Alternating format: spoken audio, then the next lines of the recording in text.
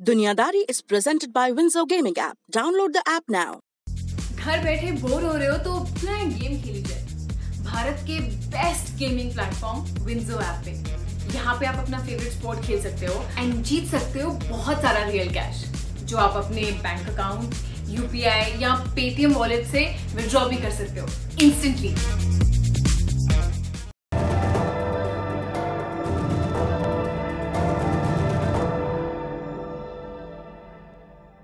नमस्ते, मेरा नाम है प्रतीक्षा और आप देख रहे हैं इंटरनेशनल खबरों का ललन टॉप बुलेटिन, दुनियादारी। एक असली वाली कहानी सुनिए। जगह मध्य एशिया में बसा एक छोटा सा देश, किर्गिस्तान।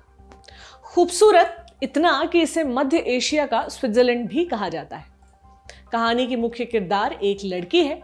ठीक ठीक कहें तो है नहीं, थी। नाम बुरुलाय तुदाली किजी, उम्र 20 साल। वो राजधानी बिश्केक में एक मेडिकल स्कूल की स्टूडेंट थी। पढ़ाई के दौरान एक लड़के से उसे प्यार हुआ। दोनों ने तय किया कि ज़िंदगी साथ बिताएँगे। उन्होंने शादी की तारीख भी तय कर ली, अगस्त 2018 ये तारीख आती, उससे पहले ही उनकी ज़िंदगी में भूचाल आ गया। अप्रैल के महीने में किसी के पीछे एक बस ड्राइवर लग गया। एक दिन मौका देखकर उसने किसी को किडनैप कर लिया। वो भी उसके घर से। उसका इरादा ज़बरदस्ती शादी करने का था। तब तक किसी के पिता ने बस ड्राइवर को खोज लिया और ज़बरदस्ती शादी होने से रोक दिया। इस घटना से किसी का पूरा परिवार घबरा गया था। खौफ में उन्होंने उसे दूर के रिश्तेदार के पास भेज दिया। कुछ हफ़्ते बीतने के बाद उन्हें माहौल ठीक लगा। रमज़ान का महीना भी शुरू होने वाला था। उन्होंने किसी को वापस बुला लिया। कुछ दिन सब शांत रहा। फिर 27 मई 2018 का दिन आया। उस रोज किसी मार्केट जा रही थी, तभी एक कार उसके पास आकर रुकी। अंदर से वही बस ड्राइवर निकला। उसने ज़ोर ज़बरदस्ती कर किसी को अपनी कार में बिठाया और लेकर फरार हो गया। किसी के पिता ने उनका पीछा करने की कोशिश की, लेकिन वो रोक पाने में नाकाम रहे। किसी एक बार फिर से किडनैप हो चुकी थी। इस बार उसके पिता ने पुलिस में किडनैपिंग की रिपोर्ट लिखवाई। पुलिस ने भरोसा दिया कि जल्द ही उनकी बेटी को छुड़ा लिया जाएगा। पिता बेसब्री से इंतज़ार करने लगे। कुछ घंटों के बाद उनके पास पुलिस का कॉल आया, कहा कि उनकी बेटी सुरक्षित है और किडनैपर को अरेस्ट कर लिया गया है। किसी के पिता पुलिस स्टेशन गए। वहाँ उन्हें पता चला कि पुलिस वालों ने उनकी बेटी और उसके किडनैपर दोनों को एक ही कमरे में बंद कर रखा है। यह समझ से परे था, ऐसा क्यों किया गया? इसका कोई जवाब नहीं मिला। उन्हें बस इतना कहा गया कि पूछताछ के बाद आपकी बेटी को छोड़ दिया जाएगा। किसी के पिता वापस लौट आए, अगले दिन उन्हें खबर मिली कि उनकी बेटी की मौत हो गई है। किडनैपर ने किसी को चाकू घोप कर मार डाला था। उसने उसके शरीर पर चाकू से कई निशान भी बनाए थे। पुलिस ने बताया कि चीख सुनकर उन्होंने फ़ौरन हमलावर को कब्जे में ले लिया था, लेकिन इस दावे में एक बड़ा झोल दिख रहा था। एक तो हमलावर ने बड़े इत्मीनान से हत्या की थी। दूसरी बात, सेल के अंदर चाकू कैसे पहुँच गया, ये भी जाँच का विषय था। इस घटना ने किर्गिस्तान में हंगामा मचा दिया। राजधानी बिश्केक समेत कई शहरों में विरोध प्रदर्शन आयोजित हुए। इन प्रदर्शनों में एक टर्म पोस्टरों पर छपा दिखा, ब्राइड किडनैपिंग, यानी शादी के लिए लड़की को किडनैप करने की कुप्रथा। प्रदर्शनकारियों, पुलिस की लापरवाही को तो कोस ही रहे थे। उन्होंने लापरवाही की, असली वजह पर भी लगाम लगाने की मांग की थी। ये असली वजह क्या थी? वही जिसे खत्म करने की मांग हो रही थी। ब्राइड किडनैपिंग की कुप्रथा। किर्गिस्तान में लंबे समय से किडनैप कर शादी करने की परंपरा चली आ रही ये तब से चला आ रहा है जब लोग कबीलों में रहते थे। ब्राइड किडनैपिंग को बाहुबल का प्रतीक माना जाता था। ये एक मिथ है जिसे परंपरा का हिस्सा बना दिया गया। इसे किर्गिस्तान में अलाकचू के नाम से जाना जाता है। 1917 में किर्गिस्तान सोवियत संघ का हिस्सा बन गया। ये शासन उन्नीस तक चला, जब सोवियत संघ का विघटन हुआ और किर्गिस्तान को आज़ादी मिल गई। सोवियत सरकार ने अपने शासनकाल में ब्राइड किडनैपिंग पर बैन लगा दिया था। फिर भी ग्रामीण इलाकों में ये बरकरार रहा। एक तरह से इसे सामाजिक मान्यता मिली हुई थी। ये आज तक बरकरार है। उन्नीस सौ चौरानवे के साल में आज़ाद किर्गिस्तान की सरकार ने इस कुप्रथा को गैरकानूनी बता दिया। दोषियों को तीन साल कैद की सजा की व्यवस्था की गई। इसके बावजूद इस पर पूर्ण विराम नहीं लगाया जा सका।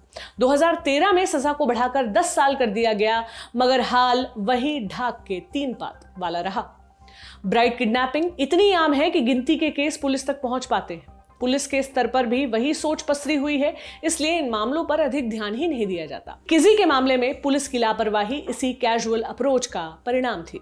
ब्राइट किडनैपिंग में होता क्या है? मान लीजिए किसी लड़के को कोई लड़की पसंद आ गई और उसका मन शादी करने का हो गया, सामान्य समझ का तकाजा यही कहता है कि लड़का उससे बात करेगा, उसे इम्प्रेस करने की कोशिश करेगा, अपने दिल की बात कहेगा और अगर वो लड़की राज़ी हो जाएगी, दोनों राज़ी रहे तो शादी की बात को आगे बढ़ाया जाएगा। अगर राज़ी ना हुए तो लड़का अपना रास्ता बदल लेगा। किर्गिस्तान में ऐसा नहीं होता है। वहाँ अगर लड़के को लड़की पसंद आती है तो वो उससे बात तक नहीं करता, बल्कि उसके आने जाने के समय पर नज़र रखता है। मौका मिलते ही लड़की का अपहरण कर अपने घर ले आता है। इस काम में उसके घर वाले और दोस्त उसका साथ देते हैं। कई बार तो ऐसा भी होता है कि ब्राइड किडनैपिंग के लिए गाड़ी किराए पर ली जाती है। यहाँ से शुरू होती है लड़की को शादी के लिए तैयार करने की प्रक्रिया। ये रोल घर की महिलाएँ निभाती हैं। वो अलग अलग तरीके से लड़की को मनाने की कोशिश करती हैं। इस कोशिश में जो सबसे बड़ा हथियार होता है, वो होता है महिलाओं के अपने अनुभव। मनाने वाली अधिकतर महिलाएँ सेम प्रोसेस के ज़रिए ब्याही गई होती हैं। किर्गिस्तान में हर तीन में से एक महिला की शादी किडनैपिंग के बाद हुई है। एक बार व्हाइट स्कार्फ स्वीकारने का मतलब है कि लड़की तैयार है। अपवाद वाले मामलों को छोड़कर लड़की हमेशा राज़ी हो जाती है। वे विरोध के बजाय इसे अपनी किस्मत मान लेती है। इसकी कई वजहें एक वजह है गरीबी। बड़ी आबादी शादी ब्याह का बेतहाशा खर्चा नहीं उठा सकती। अधिकतर मर्द उज्बेकिस्तान, रूस और दूसरे मुल्कों में मजदूरी करते हैं। ब्राइड किडनैपिंग के बाद लड़के के घर वाले लड़की के घर वालों को पैसे और गिफ्ट्स देते हैं। वहीं शादी का खर्च भी उठाते हैं। इसलिए आमतौर पर लड़की के घर वाले ऐसी शादियों को खुशी खुशी स्वीकार कर लेते हैं। दूसरी वजह है सामाजिक व्यवस्था। कोई कुंवारी लड़की किसी पराए घर में एक दिन के लिए रह जाए तो उसे अशुद्ध मान लिया जाता है। फिर उनकी शादी मुश्किल हो जाती है। उन्हें ना तो घर वालों का साथ मिलता है, ना ही सिस्टम का। शादी के बाद उन महिलाओं के साथ क्या क्या होता है, उन्हें घर में बंद करके रख दिया जाता है। वे फिर उसी सिस्टम का हिस्सा बन जाती हैं, जिनका काम होता है किडनैप की गई लड़कियों को शादी के लिए मनाना। उनकी अपनी ज़िंदगी खत्म हो जाती है। अधिकतर महिलाएँ मैरिटल रेप, अब्यूज, घरेलू हिंसा का शिकार होती हैं, लेकिन उन्हें आवाज़ उठाने का हक तक नहीं होता है। ऐसी शादियाँ रजिस्टर्ड नहीं होती, इसलिए महिलाओं को कानूनी अधिकारों का फ़ायदा भी नहीं मिलता है। आज हम इसकी चर्चा क्यों कर रहे हैं? क्योंकि किर्गिस्तान में एक बार फिर ब्राइड किडनैपिंग पर बवाल मचा हुआ है। एक बार फिर एक लड़की इस कुप्रथा का शिकार हुई है। कहानी वही है, बस किरदार नहीं है। एजादा कना बेकोवा 27 साल की थी। उन्हें 5 अप्रैल को किडनैप किया गया। किडनैपिंग की यह घटना कैमरे में कैद हो गई। कार का नंबर प्लेट भी साफ़ साफ़ दिख रहा है, लेकिन पुलिस ने कोई कार्रवाई नहीं की। दो दिनों के बाद एजादा की लाश बिश्केक के बाहरी इलाके में कार में मिली। चाकू से उसका गला रेत दिया गया था। पुलिस को एक संदिग्ध जामिर बेग, तेनीज बाएव की लाश भी मिली। दावा किया जा रहा है कि चाकू के जख्म से उसकी मौत हुई होगी। इस किडनैपिंग में तीन लोग शामिल थे। एक को अरेस्ट कर लिया गया है, जबकि पुलिस ज़िंदा बचे दूसरे संदिग्ध की तलाश कर रही है। एजादा की हत्या की खबर सुनते ही लोग सड़कों पर उतर आए। उन्होंने पुलिस पर लापरवाही बरतने का आरोप लगाया। सैकड़ों की संख्या में प्रदर्शनकारियों ने इंटीरियर मिनिस्ट्री का दफ्तर घेर लिया। उन्होंने खूब नारेबाजी की और सरकार से जवाबदेह बनने के लिए कहा। प्रदर्शनकारी, इंटीरियर मिनिस्टर और पुलिस चीफ के इस्तीफे की मांग भी कर रहे थे। जब हंगामा बहुत बढ़ गया, तब प्रधानमंत्री उलुबेक मारिपोव प्रोटेस्टर्स से मिलने आए। उन्होंने धीरज रखने की अपील की और पुलिस को जाँच के लिए समय देने को कहा। गुस्साए प्रोटेस्टर्स ने प्रधानमंत्री को चुप करा दिया और उनके इस्तीफे की मांग करने लगे। किर्गिस्तान के राष्ट्रपति सेदीर जापारोव ने भी एजादा की हत्या पर शोक जताया है। उन्होंने कहा है कि दोषियों को कड़ी से कड़ी सजा दी जाएगी। उन्होंने ब्राइट किडनैपिंग की कुप्रथा की आलोचना भी की। जापारोव ने यह भी कहा कि यह घटना किर्गिस्तान के इतिहास की आखिरी ब्राइट किडनैपिंग होगी। इस मुद्दे पर किर्गिस्तान की संसद में भी सवाल उठ रहे हैं। उम्मीद जताई जा रही है कि राष्ट्रपति जापारोव के दावे में दम होगा। ब्राइट किडनैपिंग किसी भी सभ्य समाज पर लगे धब्बे की तरह है। ये कुप्रथा महिलाओं से उनके बुनियादी अधिकार छीनती है। जानकारों की माने तो इस कुप्रथा को जड़ से मिटाने में सबसे अहम भूमिका किर्गिस्तान के लोगों की होगी। वहाँ के समाज को नए युग और आज़ाद ख्यालों के लिए तैयार करना बड़ी चुनौती होगी। सरकार इस चुनौती को कितनी प्राथमिकता देती है, ये देखना दिलचस्प होगा। इस खबर पर आपकी क्या राय है, आप हमें कमेंट बॉक्स में ज़रूर बताएँ। ये था हमारा बड़ी खबर सेगमेंट अब चलते हैं सुर्खियों की तरफ़। पहली सुर्खी अमेरिका से है। राष्ट्रपति जो बाइडेन ने गोस्ट गन्स के खिलाफ अभियान तेज करने का फैसला ले लिया है। ये बंदूकें रजिस्टर्ड नहीं होती, इसलिए इन्हें ट्रेस करना बेहद मुश्किल होता है। बाइडेन कुछ खास बंदूकों के लिए नए नियम लागू करने वाले हैं। बाइडेन के ऐलान के कुछ घंटे बाद ही टेक्सास में मास शूटिंग की घटना सामने आ गई। इस गोलीबारी में एक व्यक्ति की मौत हो गई, जबकि पाँच गंभीर रूप से घायल हो गए। इससे पहले सात अप्रैल को साउथ कैरोलिना में पाँच लोगों की गोली मारकर हत्या कर दी गई थी। मार्च में कोलोराडो और अटलांटा में हुई गोलीबारी में 18 लोगों की मौत हुई थी। बाइडेन ने कहा कि ये किसी महामारी से कम नहीं है और इसे हर हाल में रोकना ज़रूरी हो गया है। दूसरी सुर्खी रूस से है। रूस ने डोनबास क्षेत्र में सेना की तैनाती बढ़ा दी है। ये इलाका यूक्रेन की पूर्वी सीमा से सटा हुआ है। यूक्रेन का आरोप है कि रूस डोनबास के विद्रोहियों को पैसे और हथियार देकर उसके खिलाफ उकसा रहा है। हाल के समय में दोनों देशों के बीच तनाव बढ़ा है। 8 अप्रैल को यूक्रेन के राष्ट्रपति ने पूर्वी सीमा पर लड़ रहे सैनिकों से मुलाकात की। उन्होंने ये भी कहा कि जब तक यूक्रेन नाटो में शामिल नहीं हो जाता, तब तक इस संघर्ष को खत्म नहीं किया जा सकता। रूस इस बयान से नाराज़ है। उसने कहा है कि यूक्रेन आग से खेलने की कोशिश कर रहा है। यूक्रेन और रूस के बीच 2014 में लड़ाई शुरू हो गई थी। 2015 में सीज फायर समझौता हुआ। हालाँकि अभी भी विद्रोही गुट के साथ पूर्वी यूक्रेन में संघर्ष चल रहा है। अब तक इस झगड़े में चौदह लोगों की जान जा चुकी है। आज की तीसरी सुर्खी ईरान से है। साउथ कोरिया के जहाज़ हैनकुक केमी को छोड़ दिया गया है।